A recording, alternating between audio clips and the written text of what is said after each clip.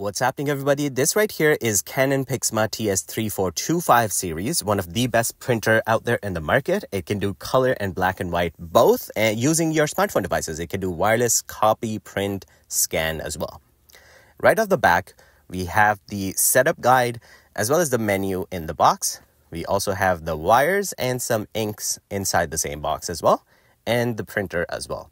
Once you remove the printer, uh, you can basically uncover it and connect your uh, power cord to it. And these are the ink cartridges that you can see. Both are colored and black and white, and they're marked. So make sure that you put them in the appropriate cartridge place. We have a bunch of buttons on the printer that you would never be using except for the print option, and because you're going to be setting it up using an app. Remove all of these protective tapes just so every part can move freely. And this is where the cartridges go. They are marked, so make sure black one goes in this in the appropriate section and then so on and so forth. Uh, the blue uh, parts, you push them down and then insert your cartridge and then push the blue part back up.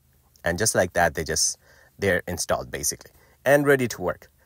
So now after that, you turn it on and the printer would have its own uh, dummy Wi-Fi created because you want to connect it to the Wi-Fi so it's available throughout the house. So first thing you need to do is download Canon Print application and then after that connect your smartphone with this dummy Wi-Fi that is generated by this printer. It will be named Pixma Canon TS34 whatever. Uh, you can see it later on in the video. So once you connect to this printer's Wi-Fi, the printer is going to automatically ask you to connect to the details of your uh, main home Wi-Fi. So once you connect to the main home Wi-Fi, which you can actually do by going to this uh, link as well, this is how it looks. So first step, you connect to the Wi-Fi of the printer. The printer asks to connect to the main uh, home Wi-Fi.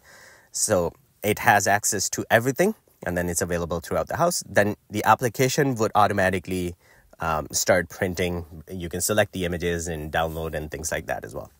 And the printer uh, speed is a bit slow for the colored option, obviously, it makes sense. But for black and white, it's fairly fast, really cool. Once you have it connected to the main Wi-Fi of the house, you can go to any smartphone device, go into print option, and then you can select the printer because it's available through Wi-Fi. Hopefully this helps. I'm sure you're gonna love it. Uh, the printer actually, uh, the ink is very cheap as well. So if you're looking to purchase a, um, a printer, go ahead with your purchase and I'm sure you're gonna love it. Hopefully this helps and I'll see you guys in the next one. Peace out.